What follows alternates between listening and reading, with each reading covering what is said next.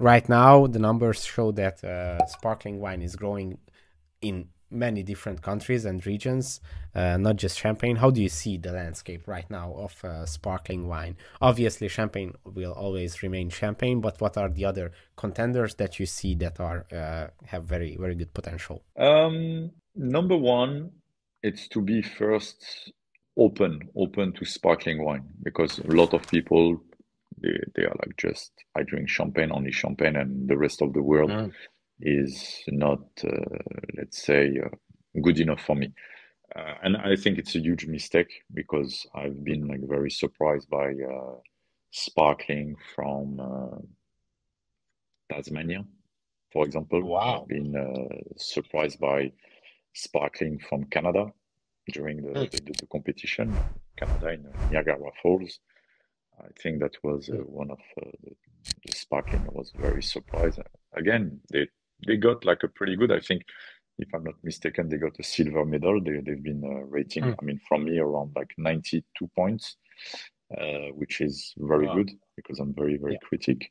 Uh, but again, um, if you take another place, uh, not too far from France, England, I think they are exactly. also uh, getting more and more uh,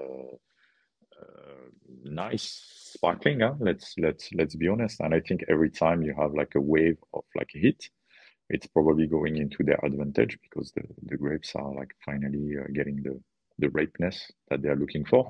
So no, let's let's be honest. Uh, be open. Be open to all those regions, and uh, make sure you try them because you might find that one of the bottle is going to to surprise you. And um, of course, champagne is champagne. Huh? Still I'm the king of wine and for me the king of sparkling, but uh, it doesn't mean that I will not drink something else and discover new shining stars, how I call them. Wow, the Tasmania is very surprising. It is. It is. It is.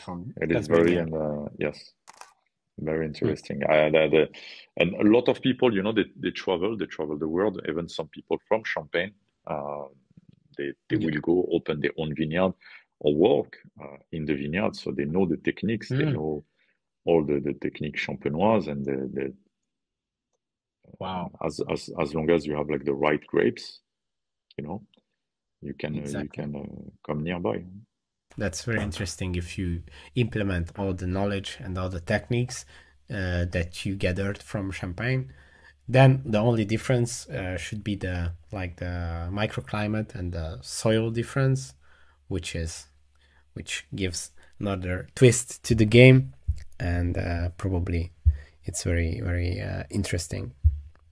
No it is. it is interesting and uh, but again i don't think today something will replace champagne uh, the, the location the weather. There is so many things that today it's going to be very very hard to duplicate what is in champagne if not impossible.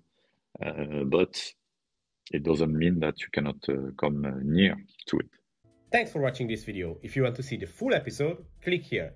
Don't forget to subscribe and consider joining for exclusive content.